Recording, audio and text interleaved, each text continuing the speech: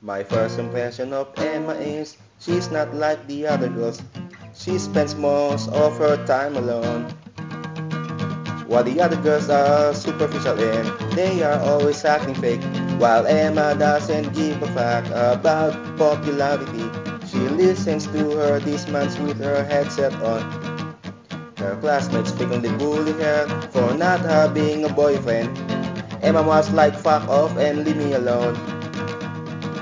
I feel bad for Emma. She doesn't deserve to be oppressed by others. Even teachers always piss her off. She is intelligent in her own way.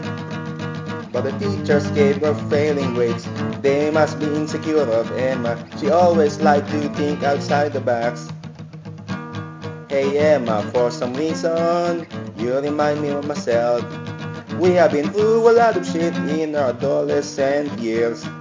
You are just like the female version of me. You are the type of girl that I should marry. Because we are not like everyone else. Because we are fucking misfits.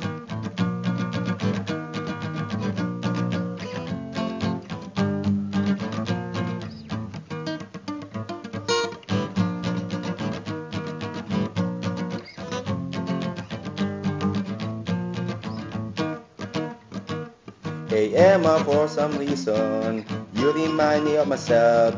We have been through a lot of shit in our adolescent years.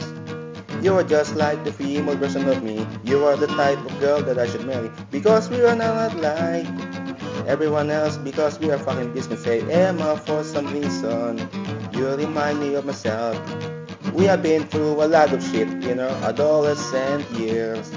You are just like the female version of me. You are the type of girl that I should marry. Because we are not like everyone else. Because we are fucking misfits. We are fucking misfits. We are fucking misfits.